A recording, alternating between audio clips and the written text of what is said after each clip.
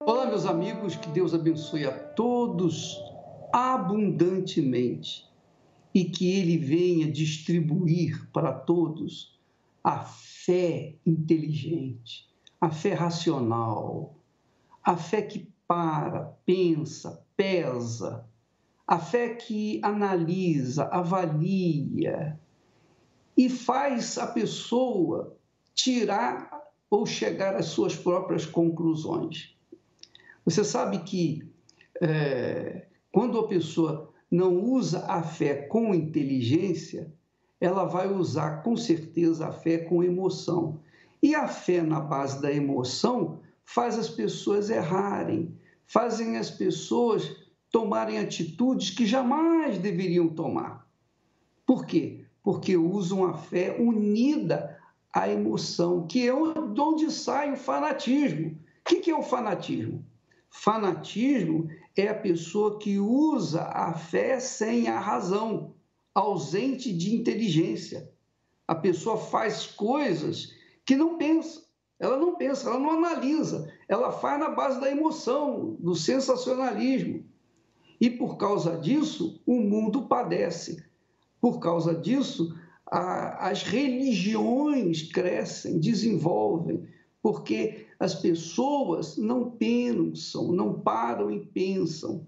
Jesus falou que ninguém pode construir uma torre sem antes sentar-se e pesar e avaliar se tem se tem o, os recursos naturais para terminá-la, porque se ele não terminá-la, ele vai ser envergonhado duplamente, porque os outros vão dizer: Poxa, ele começou a construir, não pode terminar.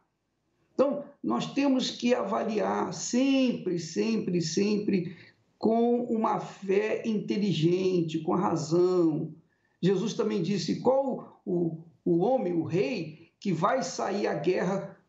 Ele tem 10 mil soldados e vai à guerra contra um que vem com 20 mil soldados. Então ele faz as contas e diz assim: não, peraí, eu acho que não vai dar para mim combater com 10 homens, 10 mil homens. Então ele faz as contas e manda então uma pessoa aí fazer as pazes com o outro rei, porque não vai perder a sua vida e a dos seus companheiros por falta de inteligência. Assim é a fé. A Bíblia ensina uma fé inteligente. Eu estou falando isso e me, me lembro de que alguém disse, o bispo, disseram que a Maria da novela de Jesus, ela não é a Maria, a Maria que a gente conhece. Ué, qual é a Maria que a gente conhece? Qual é a Maria que as pessoas conhecem? A Maria que as pessoas conhecem, que os católicos conhecem, é aquela Maria que foi pura por toda a sua vida. De fato, ela foi pura. Ela foi uma mulher, ou ela foi uma jovem virgem, puríssima. E ela foi a considerada, ela foi realmente a mãe de Jesus, porque gerou Jesus por obra do Espírito Santo. Mas depois que Maria teve Jesus, ela seguiu a sua vida normal com José, até porque não, não combinava ela casar com um homem e ficar morando junto como se fossem irmãos. Isso não existe. Isso é, isso é falta de bom senso, é falta de, de inteligência, é falta de pensar. Pensa, só um pouquinho, posso pensar só um pouquinho. E o texto sagrado, eu vou mostrar para vocês que acham que a Maria foi virgem por toda a sua vida e morreu virgem ao lado do seu marido. Ah, minha amiga, meu amigo, isso não tem sentido.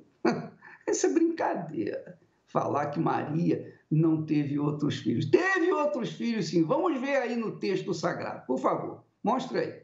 E aconteceu isso está escrito lá em Mateus, capítulo 13, versículos 53 e 54.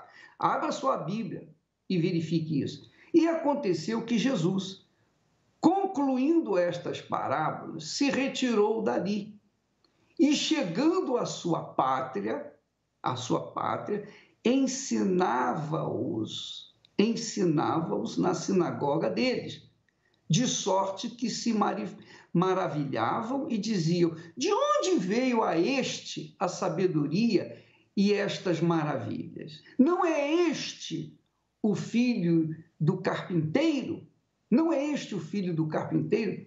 Quer dizer, consideravam Jesus como filho do carpinteiro, porque o carpinteiro era casado com a sua mãe Maria. E não se chama sua mãe Maria? E seus irmãos Tiago e José e Simão e Judas? E não estão entre nós todas as suas irmãs? De onde lhe veio, pois, tudo isso? Quer dizer, aqui nós vemos nesse texto claramente que Maria tinha outros filhos, homens como Tiago, José, Simão e Judas, além de outras filhas. Então Jesus tinha irmãos, meio irmãos, meio irmãos. Então Maria não deixou de ser santa porque teve outros filhos, de forma nenhuma. Ela foi santa, ela foi pura, puríssima. Mas ela, como uma pessoa normal, não poderia de deixar de ter uma vida normal com o seu marido José. Então fica aí a explicação e tem mais outros versículos que eu posso mostrar para vocês, se vocês quiserem ver o, a é, referência de que Maria teve outros filhos além de Jesus. Então, minha amiga, meu amigo, a fé inteligente só faz bem para a gente, porque não deixa a gente comer na mão de ninguém. E por falar não comer na mão de ninguém, nós temos um testemunho excelente que você vai se interessar. Um homem que agredia a gente, que nos perseguia e que, obviamente, tinha aquela, aquele preconceito contra a Igreja Universal do Reino de Deus, porque dizia, achava que nós usávamos as pessoas, nós é, abusávamos da boa fé das pessoas. Mas olha só o que aconteceu com ele. Olha só, vamos assisti-lo.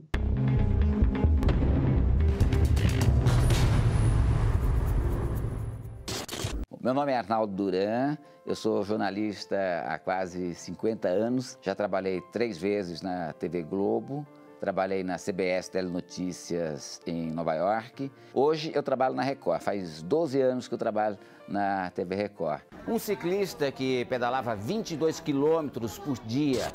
Eu me lembro assim, no, uh, nos anos 70 ainda, comecinho dos anos 80, que a Universal já não causava uma boa impressão aos jornalistas.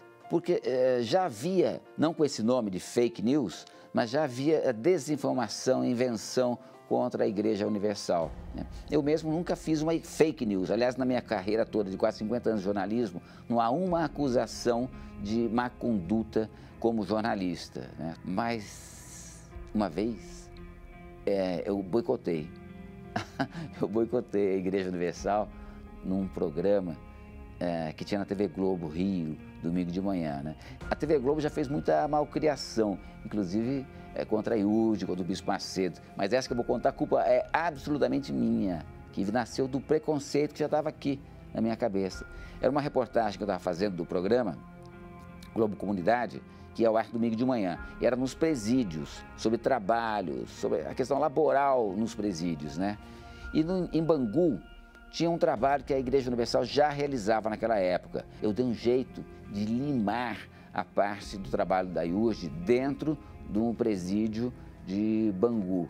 Eu estiquei as outras partes do programa e consegui limar o trabalho da IUD. Não foi para o ar naquele programa. Culpa absolutamente minha. Agora, como consumidor de notícias, a gente não vai atrás. Você lê num site lá, a Igreja Universal foi assim, fez isso, aquilo, aquilo. Você não vai, vai procurar a informação. Você não vai checar se a informação é verdadeira. Ninguém faz isso. Né? Isso muita gente tem ainda contra a Igreja Universal, que você não sabe por quê. Não sabe por quê, mas você não gosta.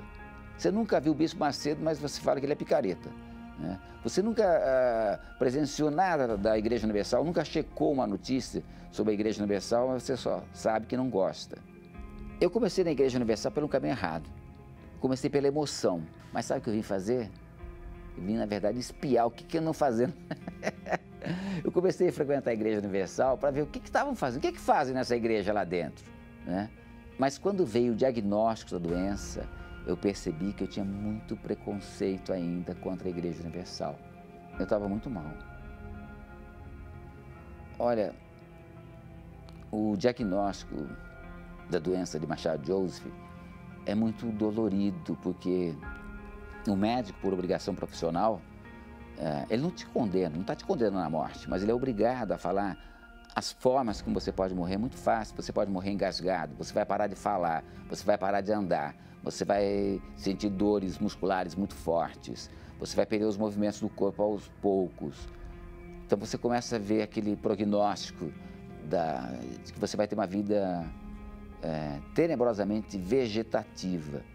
E isso te assusta muito. Eu tive que vencer um preconceito para falar que eu preciso da ajuda, do conhecimento de bispos e pastores e como se conduz com a fé, quase que em oposição à medicina. Mas para conseguir essa graça, esse milagre de Deus, eu precisei ser humilde, ser muito humilde. Me deixou impressionado assim uma vez o bispo Francisco de Coté, quando vim pedir ajuda a ele, né? Ai, meu Deus do céu, que bronca que eu tinha do bispo Francisco de Coté. Puxa vida, quem tem a doença Machado Joseph não consegue ficar em pé se fechar os olhos. Eu ia numa igreja universal da, da Santa Cecília, tinha uma obreira lá que me ajudava muito, que quando eu fechava os olhos, ops, eu, eu ia cair, ela me amparava. E o bispo falava assim, fecha os olhos. Por... Vem aqui, bispo. Eu pensava assim, que bispo chato. Vem aqui no meu lugar para o senhor ver. Vem ver, eu queria falar para ele, né? Vem ver se eu consigo fechar os olhos aqui, se eu tiver com essa doença aí. Aí um dia, não falando para mim, falando para quem estava no templo, lá tinha sei lá quantas pessoas, quase 10 mil pessoas, o templo quase lotado, né? Ele falando, por favor, me obedeça, me obedeça, por favor. Tá bom, e resolveu obedecer, então fecha os olhos. Aí ele fez uma oração, falou, fiquei lá, tal, né? orando. Amém, bispo. Opa! Não caí. Eu não caí. Falei, meu Deus do céu, que impre... puxa, a fé, é a fé. Eu estava aguardando uma história para contar um dia, porque eu já gravei umas duas, três vezes e, e eu chorei. Eu queria contar essa história da recuperação sem chorar, sem emoção. Primeiro eu participei de uma campanha da Fogueira Santa, né? E foi me dito o seguinte: ofereça a Deus o que está no seu coração. Eu tinha um monte de equipamentos em casa, de câmeras, microfones sem fio, câmeras profissionais, que era o meu futuro. Pensava, se um dia nenhuma televisão me quiser, eu mesmo vou produzir meus programas e vou colocar no ar. Eu resolvi colocar no altar aqueles microfones todos e tal. Mas um dia eu ouvi o Bispo Macedo falando no rádio assim: Você tem certeza que ofereceu a Deus o que está no seu coração? Eu não falava ainda. Aí ele tem razão. Aquele equipamento não estava no meu coração. Equipamento você compra outro, você ganha outro, você aluga. Eu me ajoelhei e ofereci a Deus a minha voz. Eu, com toda sinceridade, com todo amor que eu tinha, assim, eu não, eu não reclamei que eu não conseguia falar mais, mas eu ofereci a Deus os 40 e poucos anos que eu tinha trabalhado já com a minha voz, que eu tinha feito tudo que na vida, que eu, eu sou apaixonado pela profissão, pela narração de textos. E devolvi a voz para ele agradecido, profundamente agradecido eu brinquei. Eu costumo falar assim uns prefixos de rádio, desde criança eu repito, né? É YJ, tal, tal, tal, não sei o quê, rádio lá, Rio de Janeiro. Saiu. Alô, um, dois, três, teste de áudio. Alô, alô, um, dois, três, atenção, gravando texto, gravando off para domingo espetacular. Eu estou falando. Deus.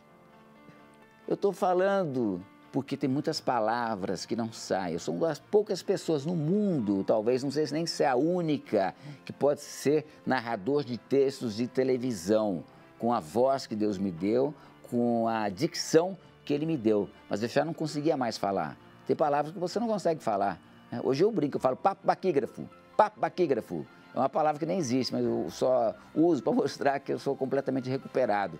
Sabe que o meu sentimento de gratidão à Igreja Universal passa primeiro por Deus, pelo fato da Igreja Universal ter me apresentado a esse Deus tão poderoso. Eu posso tirar o óculos um pouco? Eu quero que olhem nos meus olhos para ouvir o que eu vou dizer agora sobre a Igreja Universal. Eu não senti necessidade de pedir desculpas por tudo que eu fiz contra a Igreja Universal, pelo preconceito que eu tive.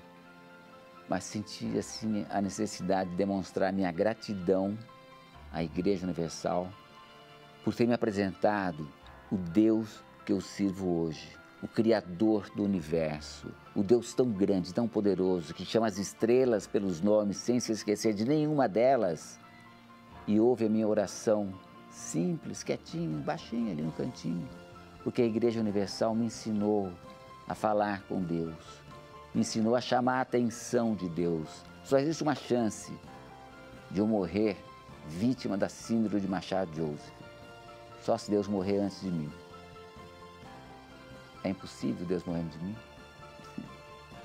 Eu acho que é impossível ele morrer a qualquer momento. Deus não morre. Então não é da síndrome de Machado Joseph que eu vou morrer. E na eternidade vou continuar sendo seu servo. Porque aprendi aqui, aprendo aqui, na Universidade da Igreja Universal, a como, como adorar a Deus, como honrar, como dignificar, glorificar o nome do Deus de Israel. Maravilha, né? É maravilhoso o que Deus faz.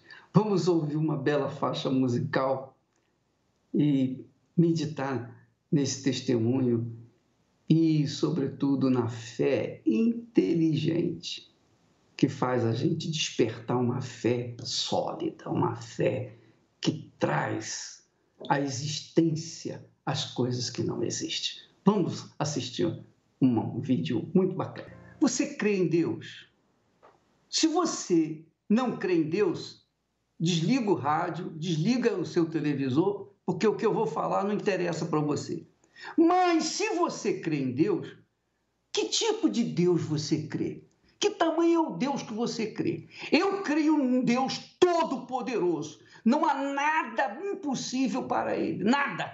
Ele mantém todos os astros, todos os planetas se, se, circulando por esse universo, de, é, amparados pela lei, a lei da física que ele criou, a lei da, da que faz manter os astros nos seus devidos lugares. Como o, o rapaz falou aí, o Duran, que Deus chama as estrelas pelos seus nomes, tamanha grandeza dele. Ele não só cura as enfermidades, mas ele muda a vida das pessoas. É isso que tem que acontecer. Você tem crido em Deus, mas a sua vida não muda porque a sua fé é sentimental. A sua fé não tem um, um, um fundamento, não tem uma, uma racionalidade. Você não pensa no que você tem crido. Eu penso naquele que eu creio. Eu creio porque eu sei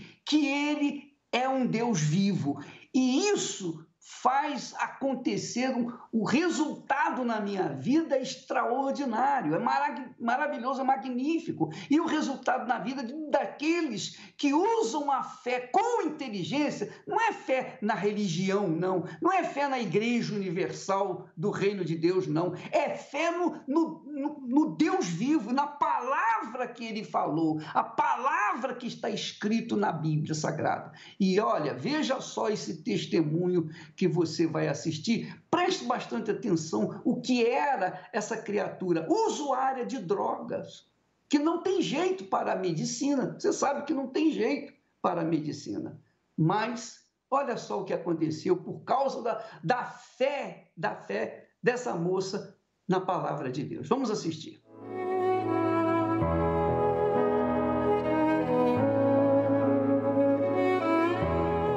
Meu nome é Simone Jesus de Souza, eu sou corretora de imóveis eu me decidi sair da casa dos meus pais muito cedo, né, com 15 anos. Eu queria ser independente, eu queria ter minha vida, queria viver. Eu falei, eu não quero mais ficar dependendo dos meus pais. Eu quero trabalhar, eu quero ter minha vida. Tinha um bom emprego, mas na verdade era como se eu não tivesse nada. Tive um casamento também de seis anos, mas também não deu muito certo. E aí depois que eu me separei dele, aí eu não vi aquela vontade. Agora eu vou viver tudo que eu não vivi, porque eu estava casada, fazendo meu papel de esposa, tudo bonitinho. Então, agora que eu estou solteira, estou livre, eu vou começar a viver a minha vida. Ali na balada, tudo era bom, tudo era legal. Me apresentaram a cocaína, a maconha, as bebidas fortes, né? Aí foi onde eu fui me afundando e até chegou um momento assim de eu usar droga todos os dias. Eu queria preencher esse vazio. Então eu me envolvi com mulher, eu, eu me envolvi nas drogas, me envolvi com muitas amizades erradas. Eu fazia de tudo para preencher, para me preencher, para me sentir feliz. O vazio era tão grande que eu queria provar de tudo, saber de tudo. Chegava no trabalho, é, drogada, né? Porque eu passava a noite me drogando. Já fui até mandada embora de alguns, perdi alguns empregos bons por conta que eu chegava atrasada, eu não fazia o trabalho direito, não dava o meu melhor. Já passou na minha cabeça a vontade de morrer, de sumir. Todas as vezes que eu me drogava, vinha aquele pensamento: some, se mata. Vinha a vontade de me matar, porque eu nas drogas, mentindo para minha família, sozinha. Eu me sentia uma pessoa suja, eu me senti uma pessoa desvalorizada. É, sabe, uma pessoa sem caráter, sem valor. Por que, que as pessoas falam que Deus existe? Mas como que ele existe? Olha a minha vida. Que Deus é esse? Que muitos falam, ah, Deus existe, ó. Deus tem um plano na sua vida, mas que plano é esse? Aonde está Deus? Principalmente quando eu, eu me envolvi com mulher, que eu me senti muito suja. Eu, eu cheguei a pensar, como que Deus vai me aceitar? Olha que ser humano que eu cheguei. E eu cheguei uma, uma madrugada que eu ali para mim foi o meu fundo do poço. Naquele momento ali da minha vida que eu me encontrei é, tendo aquela overdose de tanta droga que eu tinha usado, eu passei três dias me drogando, mesmo sem conhecer a Deus, eu clamei a Ele. Eu falei, meu Deus, se o Senhor existe, me salva ou me mata.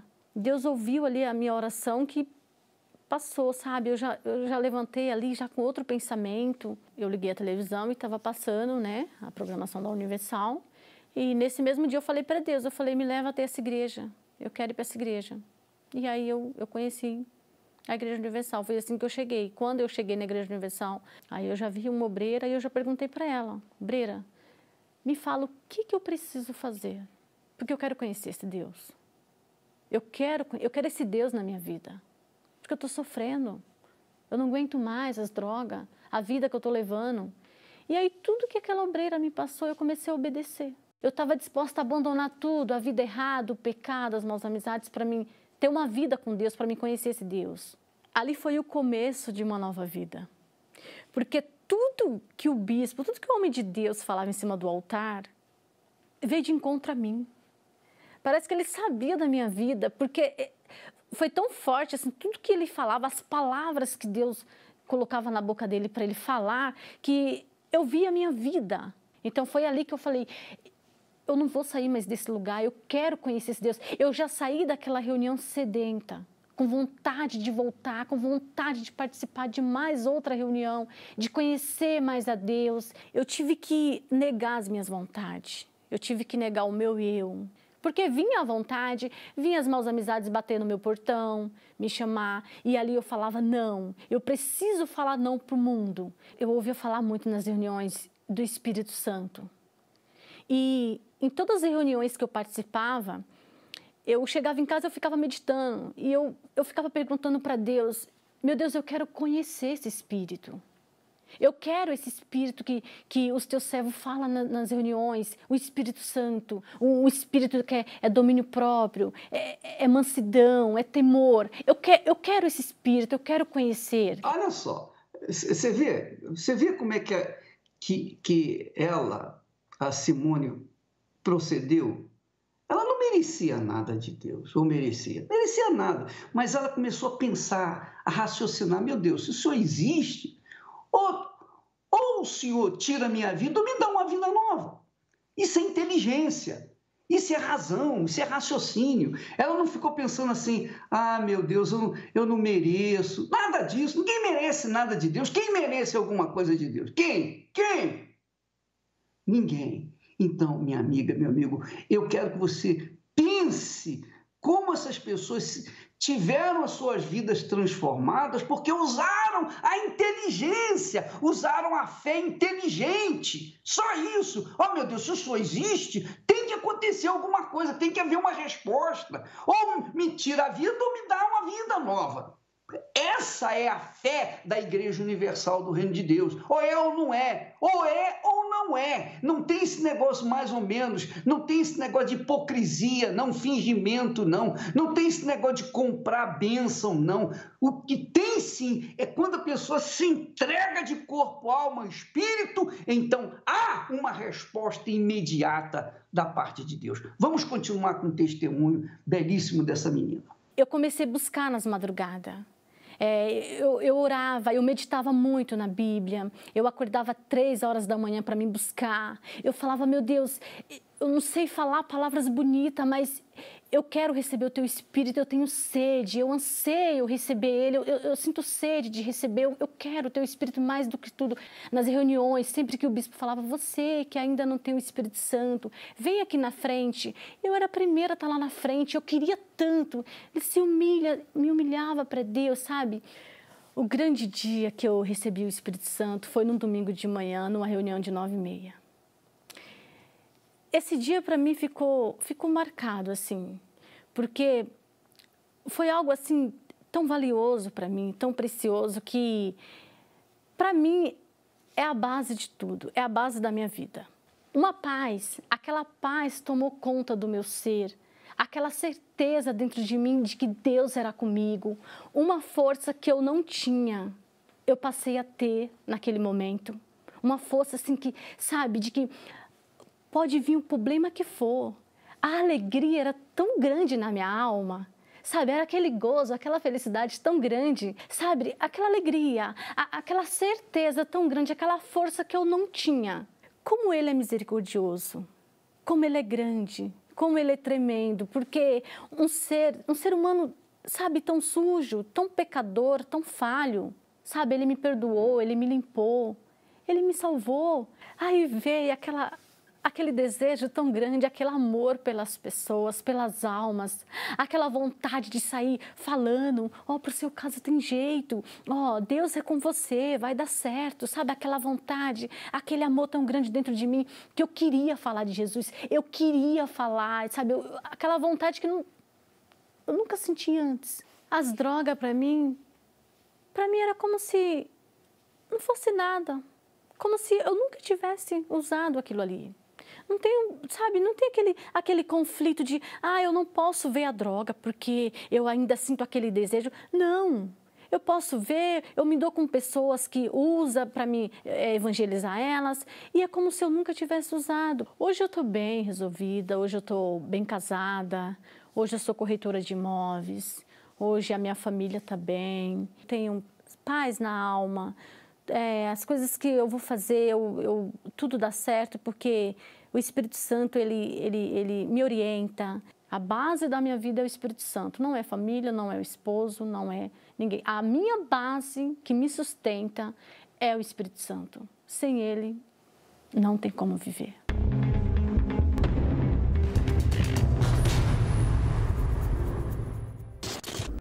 Antes de eu conhecer o trabalho da Igreja Universal, eu era muito preconceituosa. Se eu pudesse, eu lutava para que todas as portas seriam abaixadas, porque eu não aceitava nunca, eu não acreditava no trabalho deles. Para mim, é, Bispo de Macedo era um corrupto, um ladrão, um falso profeta, um...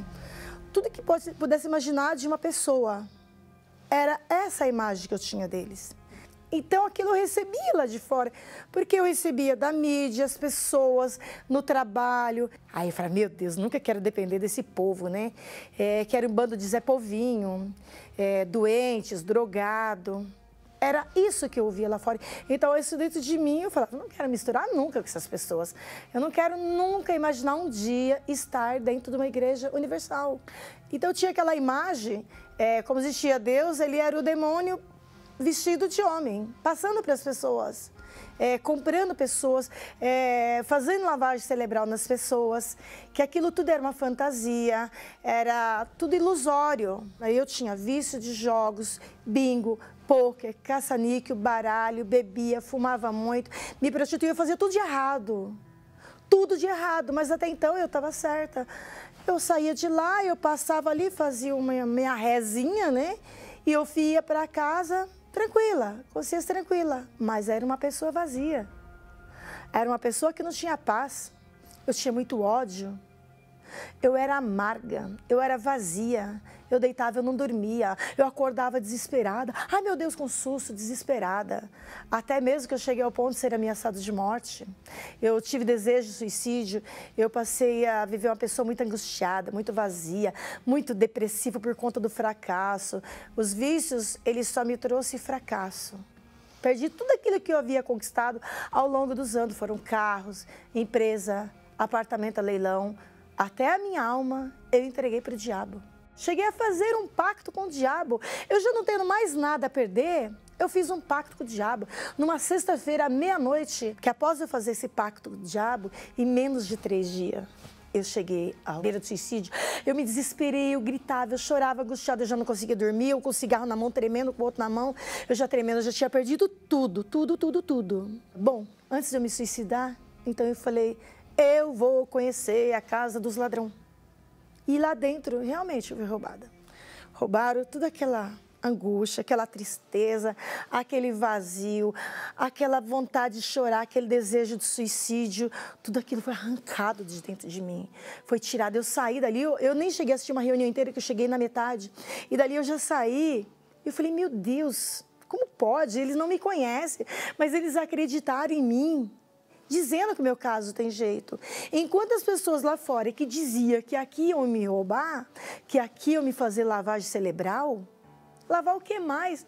A minha alma tudo está podre, está imunda. Mas dali eu saí limpa, saí leve. Eu saí com uma certeza, uma paz, eu tenho que voltar. E aí eu saí dali com uma certeza. Falei, meu Deus, a minha vida vai mudar. Eu tenho um preço, a obediência. Onde eu encontrei meu maior tesouro que é a paz que eu tenho hoje. Que isso não tem preço. Hoje eu sou uma pessoa feliz, eu sou uma pessoa realizada. De falência, hoje eu sou empresária. De depressiva, hoje eu sou uma pessoa muito feliz. Hoje eu sou uma pessoa completa, realizada, porque eu tive meu principal, meu maior tesouro, que é conhecer a Deus. Hoje eu tenho o prazer da vida que eu vivo, porque hoje eu posso dizer, eu conheci um Deus que mudou a minha vida. Hoje eu quero aqui diante das câmeras pedir perdão, Bispo de Macedo, por tudo que eu ouvi lá fora. Eu me alimentei durante muito tempo, não foi meses, foram anos, alimentando, imaginando que o Senhor era esse monstro que a mídia fala. Eu tenho toda a certeza do que eu vou dizer agora. Se eu não tivesse vindo para a igreja, hoje eu estaria no inferno. Eu tenho a certeza do que eu estou falando. Eu teria tirado a minha própria vida, porque eu já não tinha mais razão de viver. Eu te faço um desafio. Venha, participa. Assiste uma só reunião. Se você entrar e sair do mesmo jeito, não volta mais. Mas eu tenho certeza que assim como eu, há 16 anos, eu fiz essa experiência e estou até hoje e assim eu quero permanecer até o fim. Eu não quero nunca mais sair da presença desse Deus que mudou a minha vida, que transformou a minha vida.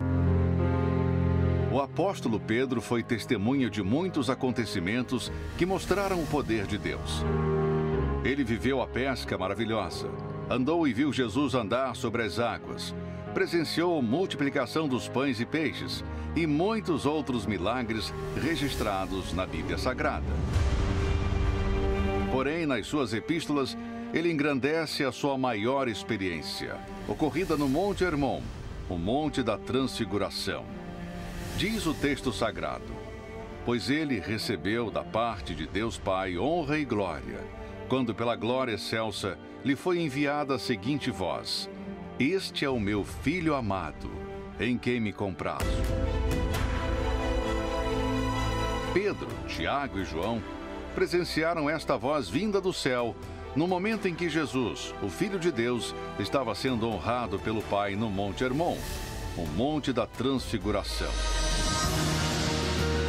E esta é a nossa fé.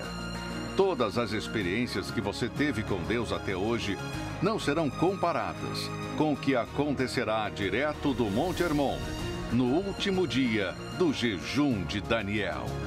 É desse lugar que os bispos irão ministrar o derramamento do Espírito Santo sobre toda a igreja. Tenha fé e disposição. Participe do jejum de Daniel. 21 dias, longe do mundo e mais perto de Deus. Esse Monte Hermon, o monte da transfiguração de Jesus, foi transfigurado e foi testemunhada, houve três testemunhas, Pedro, Tiago e João. Tiago era o irmão, meio-irmão de Jesus. Tiago era o meio-irmão de Jesus. Então, esses três personagens viram ali, tiveram a visão de Elias e de Moisés eles tiveram essa visão de Elias e de Moisés. Elias representando os profetas e Moisés representando a lei, a lei de Deus. Mas eles ouviram a voz do alto dizendo: Este é meu filho amado, a ele ouvi.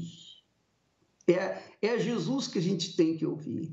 O Deus de Abraão, o Deus de Isaac, o Deus de Israel é o Senhor Jesus Cristo. É Ele que se manifestou ao mundo, que deu a sua vida para resgatar-nos do nosso pecado, resgatar-nos do inferno. Então, você que nos assiste nesse momento, está fazendo o jejum de Daniel, como eu estou fazendo, e estou fazendo para me unir a você, para que num só espírito, numa só fé, num só coração, nós venhamos subir o Monte Hermon juntos. Nós, estarei subindo o Monte Hermon, estarei indo nesse Monte Hermon com outros bispos.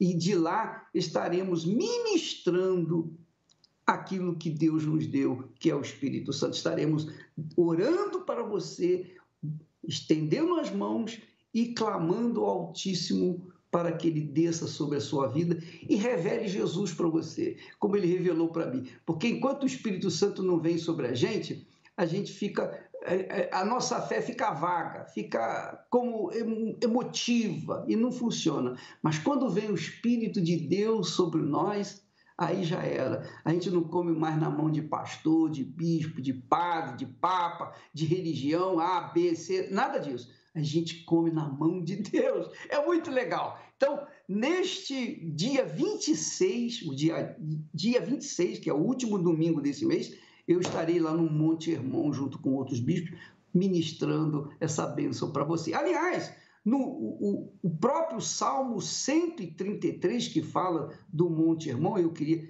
ver se vocês podem colocar aí no, o texto do Salmo 133, que diz assim: Ó, oh, quão bom e quão suave é os irmãos, ou são os irmãos que vivem em união. É como óleo precioso sobre a cabeça, que desce sobre a barba, a barba de Arão, e que desce a orla das suas vestes. Arão simboliza o Senhor Jesus, o sumo sacerdote. Como o orvalho do irmão você sabe que o orvalho que desce sobre o Hermon espalha a água por todo Israel. Você sabe que o Monte Hermon é a caixa d'água de Israel, digamos assim. E é como, e como que desce sobre os montes de Sião aquelas águas, porque ali o Senhor ordena a bênção e a vida para sempre. É o que está escrito aí, é o que eu creio. A minha fé está nessa promessa aí. Se você tem fé nessa promessa, que do monte, do monte Hermon, o Senhor vai ordenar essa bênção e a vida é eterna para você, que é o Espírito Santo, então, dia 26, nós vamos nos encontrar lá em cima, no Monte Hermon, numa só fé, num só espírito, numa só inteligência, numa só razão, numa só sabedoria, a sabedoria do Altíssimo, tá bom? Nós vamos assistir agora, nesse instante, mais um fake news. E eu faço questão de mostrar os fake news para ver como, para mostrar para vocês como as pessoas são enganadas, são iludidas, comem com a mão dos outros, são igual, são como, é, como é, piolhos, né? Andam na cabeça dos outros.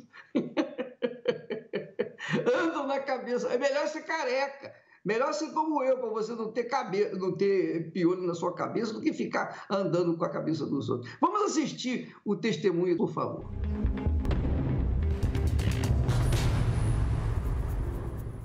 Meu nome é Rosana Tassim, eu tenho 50 anos, eu sou professora. Eu recebi informações de grandes né, é, emissoras de TV, jornais, até de pessoas conceituadas, é, difamando a igreja, de principalmente o Bispo Macedo.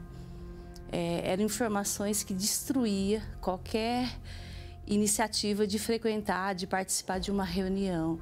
É, o bispo era ladrão, era um enganador, que ele fazia lavagem cerebral, que as pessoas que frequentavam aquela igreja eram todas enganadas. Fisco aponta desvio de igreja, afirmou que os 10 milhões... Diante dessas informações, eu me sentia revoltada. A própria voz do bispo me, me, me irritava, eu me sentia, tinha um desequilíbrio. Eu não conseguia ouvir é, as pessoas comentando que frequentava. Eu achava assim que ele estava tirando proveito da bondade, da inocência das pessoas, até mesmo do sofrimento, porque eu conhecia as pessoas, sabia que elas estavam sofrendo e para mim elas estavam sendo enganadas. Dinheiro, imóveis e veículos acabam sendo entregues. Eu era a primeira a perseguir, a falar mal, a criticar, a incentivar as pessoas a desistirem de frequentar a Igreja Universal. E diante de, dessas notícias falsas, né, desse fake news, eu fui crescendo perseguindo o bispo mesmo, né? Falando, criticando na escola onde eu trabalhava para as pessoas. Tentava abrir os olhos dela. Minha mãe estava indo fazer corrente por mim e eu perseguia a minha mãe, a minha própria mãe eu perseguia eu criticava, né? Aí ela começou a levar minha, minhas primas, vizinhos, e eu criticava. Eu falava, isso aqui, aquilo era um absurdo. Eu não aceitava de forma alguma. Minha vida estava destruída. Eu formada, meu esposo formado, nós vivíamos uma miséria, muita doença dentro da minha casa. É, o meu trabalho não, não evoluía, não crescia. E para mim, eu ainda estava certa. Diante de toda aquela situação, e uma vida destruída, eu era muito prepotente, nariz empinado, não aceitava, olhava as pessoas que frequentavam a igreja né, de cima para baixo. Achava que eu era a dona da verdade, que eu sabia né, resolver os meus problemas. E, na verdade, a minha vida estava afundando. As pessoas que frequentava, que eu chamava, eu chamava de Zé Povinho, eu falava para elas, e elas estavam evoluindo, elas estavam crescendo, e eu estava afundando. Meu filho estava muito doente, eu fui procurar ajuda para ele. Eu fui uma vez, mas mesmo assim eu fiquei mais revoltada ainda. Eu ficava olhando as pessoas, eu não deixava ninguém chegar perto de mim, colocar as mãos na minha cabeça, orar pelo meu filho, nem pensar. Eu queria distância. E eu fui um único dia. Fiquei seis meses só criticando, perseguindo e a minha vida só destruindo. Quando eu voltei novamente para a igreja, o sofrimento era muito maior do que seis meses atrás. Eu me separei do meu esposo, né? nós nos separamos de casa, mas ele já dormia na sala, eu dormia no quarto, nós não tínhamos mais relacionamento nenhum. A doença do meu filho se agravou, eu continuei doente, eu comecei a ter crises dentro da minha casa, quebrar tudo, eu quebrava tudo dentro da minha casa. Eu tinha o desejo de matar o meu esposo e o preconceito continuava, eu não aceitava. Eu não aceitava. A minha mãe já estava indo para a igreja, eu não aceitava. Eu falava para ela assim que aquilo não ia me ajudar. Né? Eu já tenho, eu tenho estudo, eu leio, eu estudo, eu procuro informações numa ilusão, né? Eu estava iludida, achava que aquilo ia resolver a minha vida. Voltei, né? Eu retornei. primeira coisa que eu consegui foi a cura do meu filho, porque para os médicos ele não tinha cura. Ele tinha muita alergia, ele tinha muita falta de ar, ele não dormia. Ele era uma criança assim que o médico falou que ele ia ficar dependendo de antibiótico para o resto da vida, que isso ia tra trazer sequelas para o estudo dele, porque os antibióticos eram muito fortes.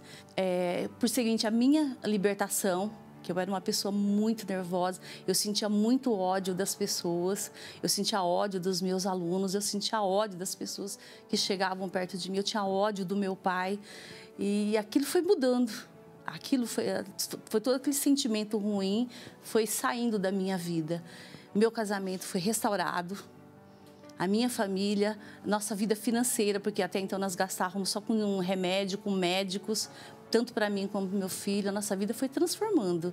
Eu me senti iludida, né? As pessoas tentaram me venderam uma imagem do bispo e eu aceitei. Eu deixei aquilo crescer, eu fui muito prejudicada. Eu, meu, meu filho sofreu muito, eu sofri muito com toda, com toda aquela situação. Se eu tivesse ido antes, na primeira vez que eu fui, tivesse aceitado muita coisa teria sido diferente na minha vida. Minha família é abençoada, tive mais dois filhos, eu me formei, já estou na minha terceira formação. Eu tenho meu carro zero, eu tenho a minha casa, eu tenho uma vida financeira estabilizada, eu posso viajar, eu posso sair. Meus filhos são, tenho filhos abençoados eu faço um desafio com as pessoas que perseguem, que têm a mesma dúvida, a mesma crítica. Né? Eu era uma pessoa bem crítica com o trabalho da igreja, do bispo, que vinha conhecer realmente o trabalho da igreja para ver a transformação de vida, como assim aconteceu na minha vida. Olha, eu quero dizer para vocês que o trabalho do bispo Macedo não é do bispo Macedo, é do Espírito, do Espírito do Deus Altíssimo que tem agido não só em mim, mas nos meus colegas, aqueles que têm colocado sua vida, suas vidas no altar junto comigo. Então, o Espírito Santo é quem tem profetizado, falado, curado, libertado e feito desse trabalho glorioso. Ele, ele é que habita em nós e é o que nós queremos é que ele venha sobre você. Eu quero que você tenha espírito também, minha amiga, meu amigo. Porque se você não tiver o Espírito de Deus, como nós recebemos, sua vida não vai mudar. Sua vida vai continuar descendo, pro, vai, vai descer, não sei para onde, mas com certeza vai descer. Por quê? Porque só o Espírito Santo é capaz de nos erguer e fazer de nós novas criaturas. O Espírito Santo é o Espírito do Senhor Jesus. Você já recebeu o Espírito do Tranca-Rua, do Exu Caveira, você já recebeu o Espírito do uh, Dr. Bezerra de Menezes, do Dr. Frankenstein, etc, etc. Você recebeu o Espírito de, de qualquer um, do seu avô, do seu avó, da sua... Enfim, por que, que você não vai receber o Espírito de Deus? O Espírito de Deus é o Espírito da eternidade. Então, faça isso, investe na busca e no recebimento do Espírito Santo e nunca mais a sua vida será a mesma. Vamos nos preparar para a oração. Meu Pai, meu amado Deus e Pai de nosso Senhor e Salvador Jesus Cristo, digno de toda honra, de toda glória, de toda majestade, de toda grandeza. Esses testemunhos, meu Pai, que nós temos visto aqui ao longo dessa programação, desses meses, anos de programação, são frutos da ação direta do Senhor Espírito Santo. E é por isso que nós queremos, meu Pai, nós estamos tentando promover, levando as pessoas a essa consciência de receberem o teu espírito para que elas tenham vida, porque não há vida sem o teu espírito, não há felicidade sem o teu espírito. O dinheiro não compra saúde, o dinheiro não compra família, o dinheiro não compra amor, o dinheiro não compra paz, o dinheiro não compra nada a não ser conforto material. Mas o que adianta o conforto material se a nossa vida material tem prazo de validade? Então eu te peço, meu Pai, venha tornar possível, nesse instante que as pessoas estão se entregando, se rendendo, orando, clamando, chorando. Oh, meu Deus, derrama do teu espírito agora que essa música, que essa canção que nós vamos colocá-la em seguida, venha, meu Deus, tocar no mais profundo dessa alma e haja então um derramamento sobrenatural do teu espírito em o nome do Senhor Jesus Cristo e quem crê diga amém e receba o Espírito Santo aí na sua casa, aí onde você está, em nome do Senhor Jesus. Graças a Deus. Minha amiga, meu amigo, eu tenho certeza que o Espírito Santo tocou em você. Essa paz que você sente aí agora, esse, esse sintoma de, de, de alívio, não é um comprimido, é a ação do Deus em espírito dentro de você. Procure uma igreja universal do Reino de Deus para completar essa obra na sua vida. Tá bom? Nós ficamos por aqui. Amanhã estaremos de volta neste horário e nesta emissora, em nome do Senhor Jesus. Até lá.